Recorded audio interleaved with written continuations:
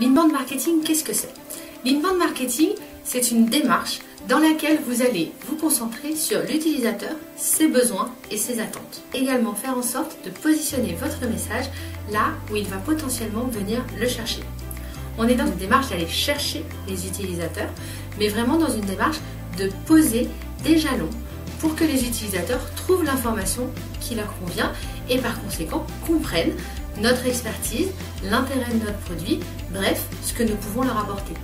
L'objectif n'est donc pas en inbound marketing de faire de la promotion, de beaucoup parler de sa valeur ajoutée. C'est juste d'en avoir conscience et d'être capable de la positionner et de parler avec les autres.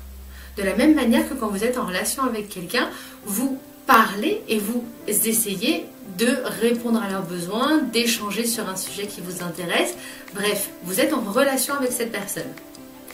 Et non en train d'essayer de lui vendre un produit. C'est d'ailleurs la différence entre un bon et un mauvais commercial. Donc en inbound marketing, nous allons faire en sorte d'être là pour nos utilisateurs, d'être prévoyants, de rentrer en relation avec eux sur des thématiques qui les intéressent et qui nous intéressent. On ne fait pas du tout de faux semblants pour pouvoir faire en sorte qu'après, ils pensent à nous. La démarche inbound marketing telle que je l'entends est vraiment une démarche humaine. Nous allons mettre en place une relation avec les utilisateurs et parce qu'ils nous font confiance, parce que nous savons de quoi nous parlons, les personnes vont venir nous solliciter quand ils en auront besoin.